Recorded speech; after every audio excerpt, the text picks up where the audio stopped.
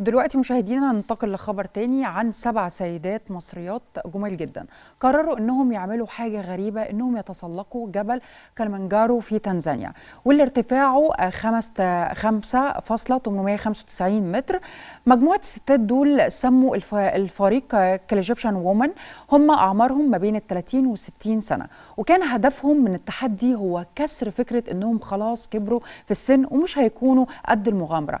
رحلة فريق كاليجيبشن وومن هتبدأ شهر أغسطس اللي جاي وهيسافروا من القاهرة إلى تنزانيا ومن المخطط إنهم هيمشوا مسافة 42 كيلو متر خلال 8 أيام لحد ما يوصلوا للقمة. وطبعا هيكون معاهم مجموعة دعم ومرشدين من تنزانيا.